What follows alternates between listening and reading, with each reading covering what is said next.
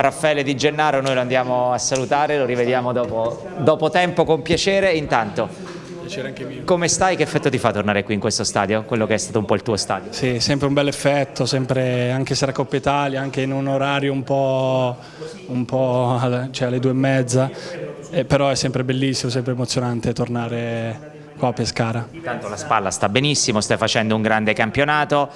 Gubbio nelle zone altissime, Pescara nelle zone altissime. Eh, speriamo di rimanere entrambi in quelle zone lì, ancora più alti voi e noi va bene così perché siamo primi per adesso, però il campionato è lungo e speriamo che entrambe riusciamo a salire. Ma come la domenica guardi ogni tanto il risultato del Pescara? Eh, sì, sì, sì, sempre. Quanto sei stato vicino, adesso ce lo puoi dire quest'estate a tornare, perché il nome tuo per 3-4 giorni sembrava oramai cosa fatta il ritorno a Pescara, firma che non arrivava a Gubbio, attendevamo il fax di ritorno, attendevano il fax di ritorno a Pescara, che cosa è successo? Sì, eh, il Gubbio mi ha fatto sentire la sua grande voglia, voglia di avermi e ho accettato questo progetto che è, che è biennale, quindi stiamo facendo bene, stiamo facendo una grande squadra e, e ho, accettato, ho accettato Gubbio. Diciamo che è mancato il biennale a Pescara.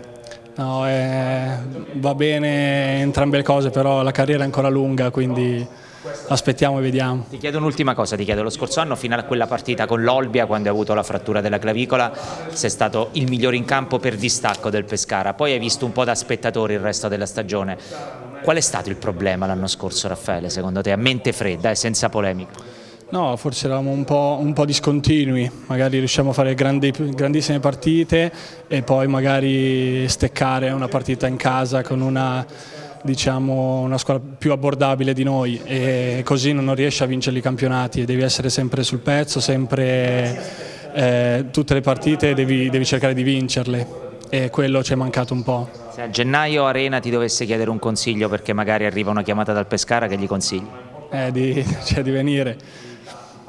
Sì. Facciamo una domanda a Raffaele, a Raffaele Di Gennaro, Massimo, mettiamo il microfono e ti ascolta. No, io non posso che fargli i complimenti, lui è molto sfortunato, io quando fu ingaggiato dal Pescara ho sempre detto questo è un portiere top, non solo in Serie C ma anche insomma, in Serie B dove ha giocato stabilmente per tanti anni, quindi io non mi so spiegare eh, questo percorso, questa carriera, da parte sua probabilmente ha, è stato sfortunato, problemi fisici, per, per me avrebbe meritato ben altro.